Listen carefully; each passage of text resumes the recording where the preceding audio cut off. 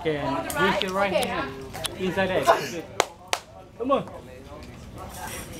To your knee. Yeah. Can you move your right hand up high a bit inside there? Okay, correct. Ah, no, no, no. Wait, the one higher. Higher. In. Yeah. And move your left foot up high. One step up. Okay, good. Now can you reach your left hand up to the left? Left hand left. Higher. More left a bit. Higher. I Little got bit. you. Just one finger. Yeah. Can you let down to the left and then can you reach?